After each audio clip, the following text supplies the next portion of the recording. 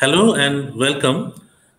Now we have arrived at the most interesting and much awaited part of the 13th Foundation Day celebration of the Central University of Odisha at Koraput.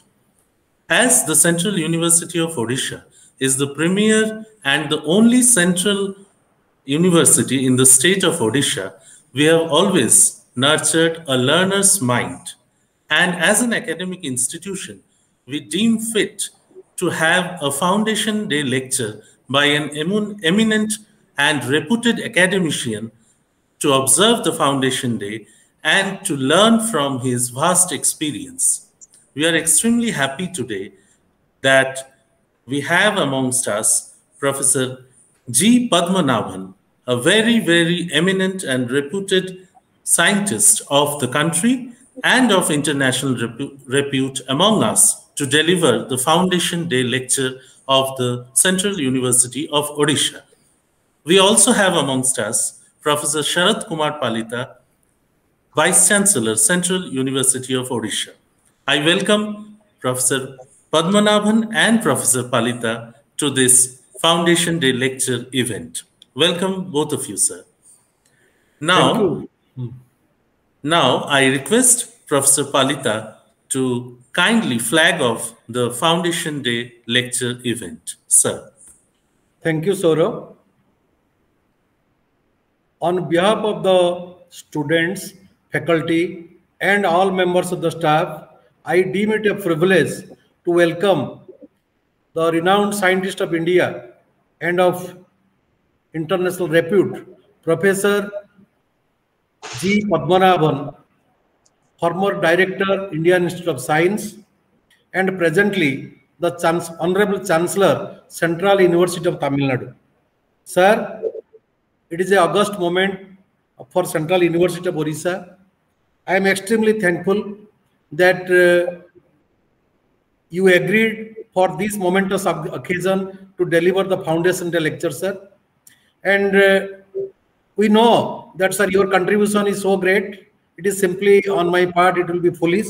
But for the benefit of my students and colleagues, I must say that sir was recognized late, much later as Padma Bhushan or Padma Shri, but his contribution goes way back around 30 to 40 years. He is one of the leading biochemists of our country as well as leading biotechnologist and he has contributed greatly in these fields from last five decades. So I again thank you, sir, and I deem it again a privilege for your august presence, and I wish your foundation lecture will be greatly beneficial for our students and academic community, and it will inspire us to take our university forward as well as our country forward. With these words, I will request Honorable Professor G. Padmanabhan sir to deliver his foundation lecture. Thank you, sir. Sir. Thank you, Professor Palita, for uh, for the introduction and uh, Saurav for making all these uh, technicalities possible. So uh, it's indeed a great pleasure and honor for me to have been invited to give this uh, Foundation Day lecture. So I was reading a little bit about the Central University of Odisha. And as uh, Saurav said, it is a very only central university in the state. You know, that is something uh, we can all be proud of. And I was looking at the mission and vision of the uh, university obviously, you know, the, the vision is to become one of the best universities of the globe. That's fine. And you have several objectives of the vision. And one of the things that attracted me was uh, disseminate inclusive education to reach the unreached to my mind, this is a you know a huge opportunity, a, a very unique opportunity to reach the unreached, and especially the tribal population. In my opinion, you know, we know that Odisha has a large number of uh, tribes, tribal population, and Koraput probably is uh, right in the uh, middle of all these. And to my mind, education has to be both ways. You know, we can look at their uh, standard of living, we can contribute everything to improve, uh, you know, formal education, etc. But we can also learn, learn from them. You know, there is there are a lot of things which we can learn from the tribal communities. And I do see you have uh, um, 14 departments and uh, seven schools. And I saw there was there is an anthropology department, but in social sciences. So I'm pretty certain they are addressing many of the and there are tribal studies, and uh, so I think you you must be doing um, you know um, tribal cultural studies, socio-economic aspects, and so on. But as you rightly said, Professor Palita, I come from life science background. I am a biochemist. Therefore, I I work with the malaria parasite. Therefore, you know, I, I look at from the from that perspective of uh, what is the medical or biomedical contribution which the university can make actually. Uh, you know, till uh, last year, I was president of the National Academy of Sciences, uh, Allahabad. Many of you would have heard. It's the oldest uh, science academy in the country, and it has got a specific program for tribal studies. Many, many uh, uh, projects, almost 20 centers have been established actually. And some of the projects are related to malnutrition, anemia, sickle cell anemia, maternal and infant mortality, safe water scarcity, contaminated disease problems, birth control measures, use and documentation of herbal ethnic medicines, problems of ethnocentrism, anthropological intervention for protecting the socio-scientific values of their multi-dimensional cultural ethos. I'm sure some of these aspects probably uh, your anthropology department is uh, doing it. But uh, at the outset, I want to make an appeal to the government uh, Central University of Odisha needs a life science department or a school of life sciences. I know uh, there are uh, financial issues, and uh, to have a life science school, you have you will have to invest quite a bit in laboratory equipment. And I, but I feel Odisha needs it. I mean, I think that is very, very important in my opinion. Let me take malaria as an example. Um, there are many other issues, but I, because I work in this area, Odisha has done a great uh, achievement there. Many of you would have heard about this Daman program. This is the Durgama Anchalare Malaria Nirakarana. Basically, malaria elimination in remote areas. And this program very successfully and even internationally recognized by the Odisha government, where you know they have brought down incidence of malaria uh, among the tribal population, among people of Odisha, substantial. How was it done? This is done by individual, what we call as rapid diagnostic test. First of all, you do the test and then immediately treat them. We have very powerful drugs like artemisinin-based derivatives and so on. You treat them. Then vector control. You know, the disease is caused by mosquito and therefore vector control, distribution of bed nets to, to protect them against uh, mosquito bites. And finally, it is the education. people have to be educated uh, how uh, serious is malaria. You know, there is a joke actually. Um, um, you know, they will all have bed nets and they will sleep under bed net in the night. But during the day, they will go to the forest and get bitten by the mosquito. So the distribution of bed net doesn't make sense because they are getting bitten in the forest. So they like that. You know, this is, uh, but still I think there are statistics saying substantially malaria has come down. But I must caution, even globally, I should tell that uh, goal of WHO is to eradicate or eliminate malaria. You can't eradicate, but you can eliminate malaria. And uh, they say there are 11 countries which are uh, kind of need to be watched. 10 of them are African countries, and the one country outside of Africa is India. So there is still an issue. Um, although malaria has come down globally, it still accounts for 250 million cases and 450,000 deaths. And WHO says India accounts for 4% of malaria cases. If you really calculate 4% of uh, 250 million, will be 10 million cases. But uh, government numbers are much, much uh, lower. You know, I, am talking about the central government. The numbers are much smaller than what WHO says. Similarly, deaths. And that is why, you know, let's not, I'm not worried about the number, but honestly, on the ground, are people benefited? This is where, uh, you know, what is happening. I will come to COVID uh, in a few minutes. Same issue.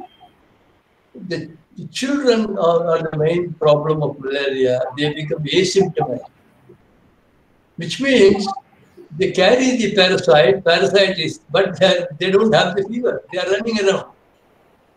Because they have antibodies, they are, they are living in an endemic area, but they are the biggest reservoirs of to spread the Therefore, we cannot assume, although I would congratulate on the Daman program, you know, we cannot assume that, that we have eliminated malaria. Even the country as a whole has a goal to eliminate malaria by 2030. They say even 2025, uh, yeah, I don't think it's possible. 2030, we will eliminate malaria. The DGHS of the country, uh, uh, they think it, it is possible. But I, you know, this is just one example because this is a field I am familiar, where if you have a life science department, this is where, you know, a lot of biomedical research, a lot of biomedical applications. It is possible. You can contribute, you can participate in this Daman program, you can participate in the diagnostic tools. These are, you know, rapid diagnostic tests are not a big deal. Actually, you know, the kits are available. And you will have students working on these areas, you know, uh, uh, unlike, you know, many of us, many uh, well-funded institutions spend time mostly on basic research and publication. That is important. But I feel science has to reach the people also. It's just not enough if only publications are there. Uh, what does it mean to the people of the country? So I feel this is very important. And then, you know, uh, you have a similar situation with COVID. I am not very clear to what extent the, the tribal population is affected by uh, COVID. I don't know how much statistics is available. Is it, uh, you know, the, we are, we went through uh, wave one, we went through wave two, and it is, the whole thing is supposed to be coming down. But I am not very sure. Everybody is scared. Uh, wave three, third wave will come. And uh, again, the problem of uh, COVID is people will be asymptomatic. There are a large number of people who will have the virus, but it will not show uh, COVID. Therefore, how do you detect, how do you identify? You can't identify every India. India has a huge population, 1.3 billion population. Therefore, it is not possible to uh, check each individual. So, but there has to be. That is where I feel, uh, you know, uh, research angle is very essential. You, know, you decide representative populations, you know, the statistics departments, uh, all your other uh, social science departments can decide what should be the population that should be representative individuals who should be tested whether they manifest the fever or whether they manifest the disease or not. I think it is very important for them, uh, you know, to be tested. And if they are tested, you know, the government says uh, you do quarantine. Uh, you have a whole lot of treatment. Honestly speaking, there is no real treatment available for this uh, disorder. All the drugs are, you know, uh, they're all used for other viral disorders like HIV and all that. So there is no drug which is very specific for COVID. But of course, clinicians will use anywhere between uh, hydroxychloroquine, remdesivir, and all those things they will use. But uh, you know, you really need research to really find a new drug. Therefore, what is it that is protecting? There are only two things that will protect. One is the vaccine. Other one is wearing the mask wearing the mask is perhaps even more important than the vaccine. Somehow, you know, uh, I have seen even in Bangalore, uh, uh, when I go to the institute, I find a lot of people traveling on scooters and I know on two wheelers.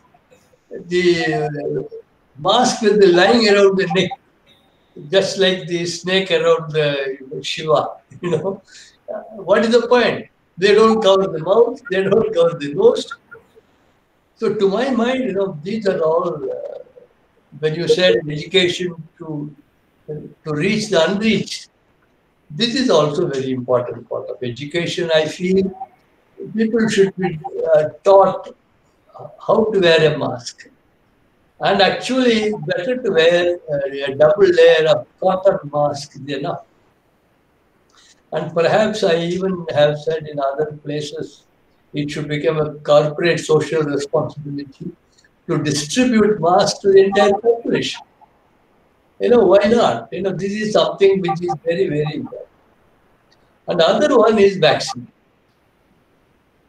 There is a phenomenon called vaccine hesitance. There are people still who do not want to take the vaccine or they don't believe in the vaccine, they are afraid of the vaccine. You know, there are also, you know, some kind of uh, propaganda, wrong propaganda, that uh, vaccine causes autism, vaccine causes, uh, you know, uh, infertility. This is not true. There is, you know, if you look at the history of medicine, there is no other medical intervention that has saved millions and billions of lives over millennia, right from Jenner's time, you know, you might have heard cowpox vaccine to treat smallpox. From that time onward, how many infectious diseases uh, vaccination has saved? Unbelievable. But there will always be uh, maybe a very small number of side effects, a very small number of deaths also can be there. But you know, we cannot uh, because of that, when it, the positive angle is something like 99% or 99.9%, and the negative aspect is 0.1%, you don't throw the therapy. Therefore, I feel this is part of education. Vaccine hesitancy uh, should be dealt with. And tell people, I do not know, for example, the tribal people, are they averse to take the vaccine? Are they prepared to take the vaccine? I don't know. But to my mind, you know, this is probably you know, some of the social sciences departments can even do in terms of education. uh, very, very important to, to let them, uh, you know, know uh, wearing the mask and having the vaccination. And one thing has been clearly proven. All the research publications have shown. If you take two doses of the vaccine, the two vaccines they are now available. Definitely, hospitalization and severity is prevented. People may still get infected. You know, that means these are called vaccine breakthrough cases. Even after vaccination, somebody is getting infected. But they will not develop a severe disease.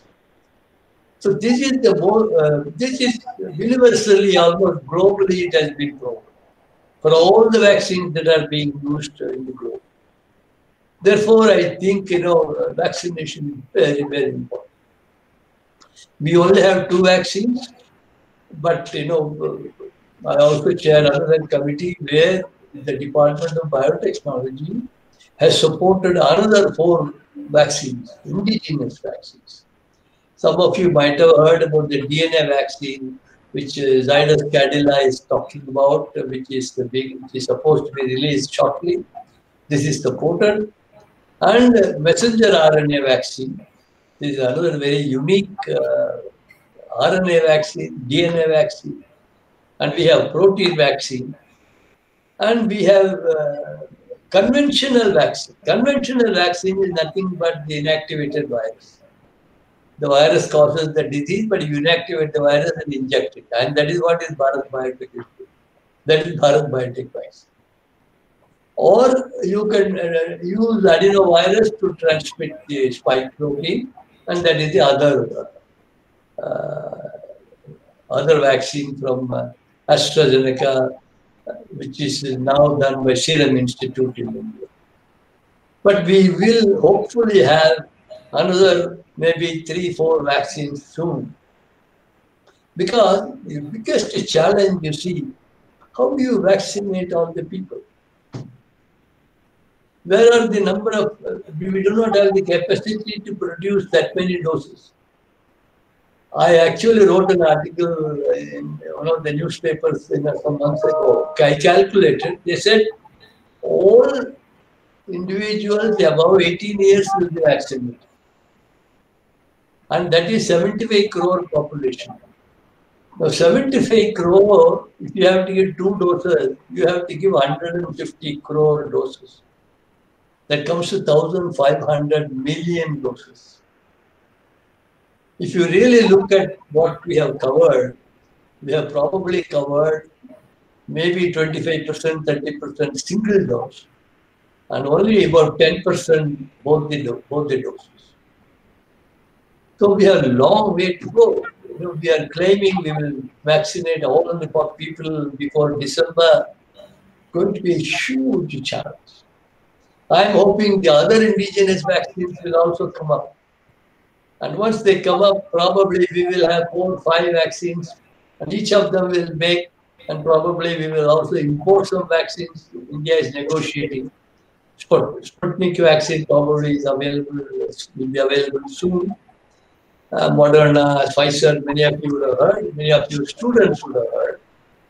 And you know, I want to, you know, this is all possible if you have a life science department. I'm going back to the same theme you know, uh, also, uh, you know, you have somewhat, you know, uh, life related biodiversity and conservation of natural resources. I see that.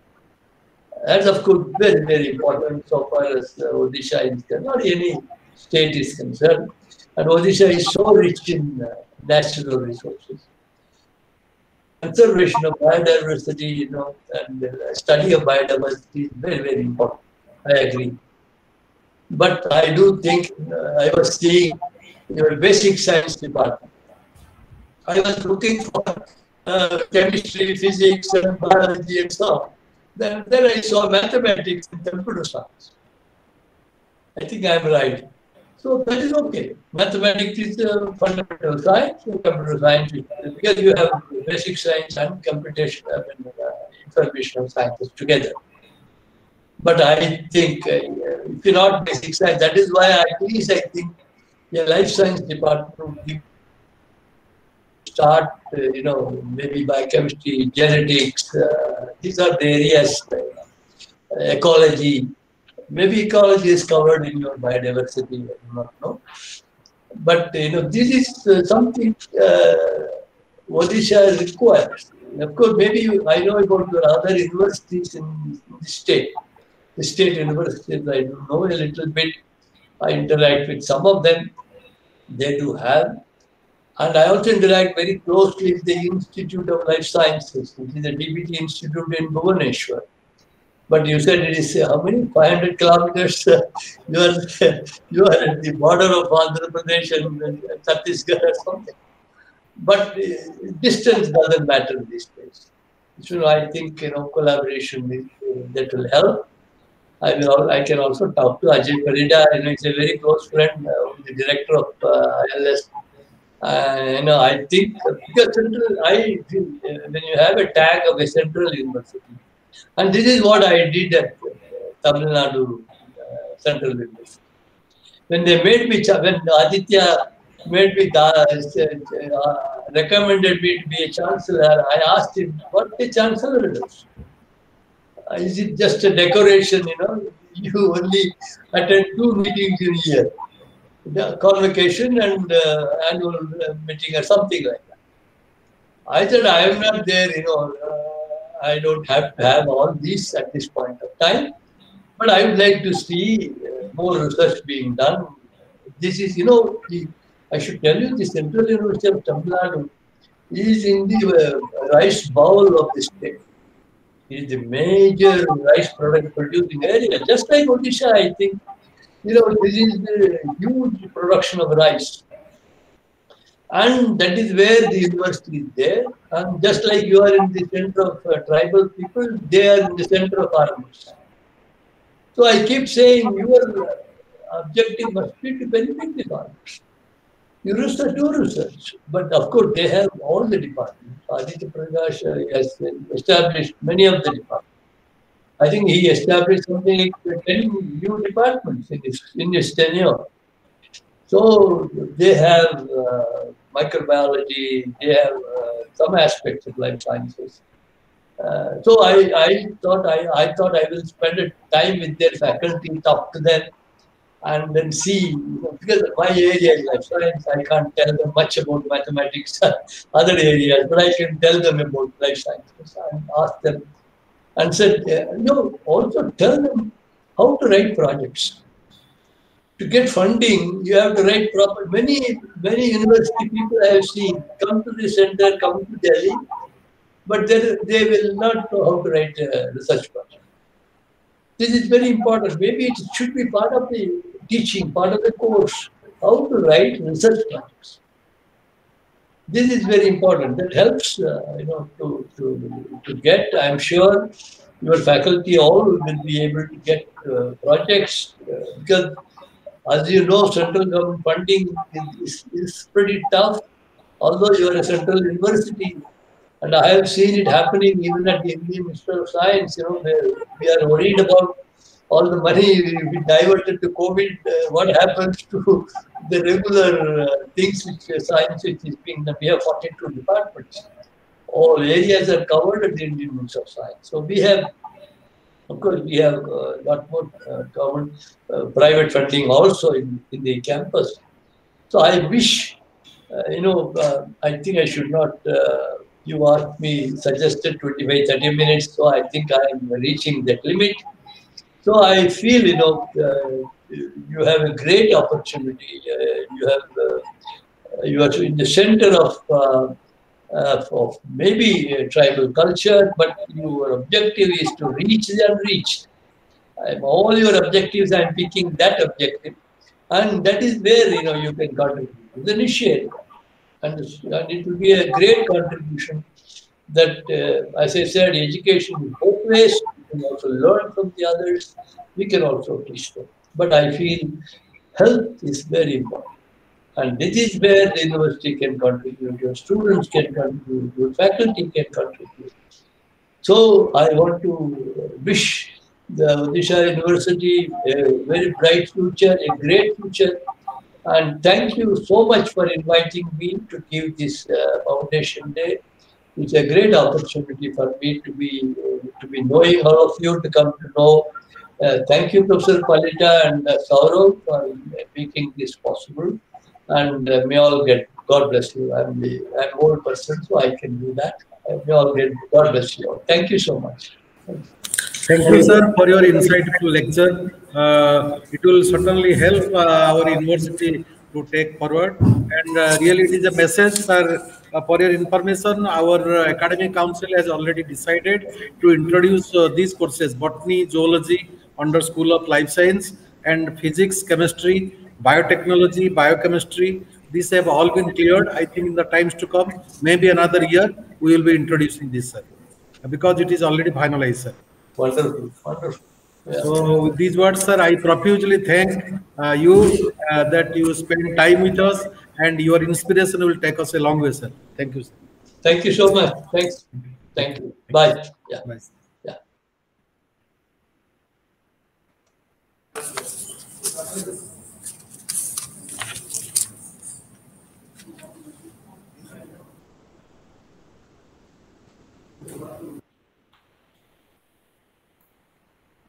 Saurabh